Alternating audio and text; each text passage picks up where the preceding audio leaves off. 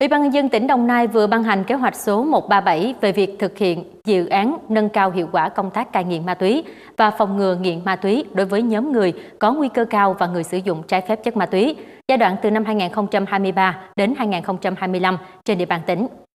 Đối tượng thực hiện dự án này là người nghiện ma túy, gia đình người nghiện ma túy, người có nguy cơ cao và người sử dụng trái phép chất ma túy, cơ sở cai nghiện ma túy, vân vân.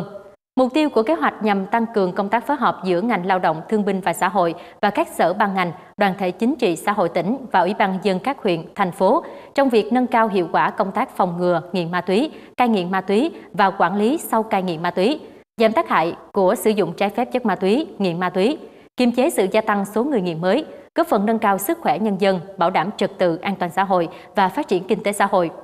Theo kế hoạch, phấn đấu trên 80% số người nghiện ma túy có hồ sơ quản lý được tiếp cận dịch vụ tư vấn, điều trị, cai nghiện ma túy thích hợp và người sau cai nghiện ma túy được tư vấn hỗ trợ dạy nghề, tư vấn giới thiệu việc làm theo nhu cầu, hỗ trợ hòa nhập cộng đồng.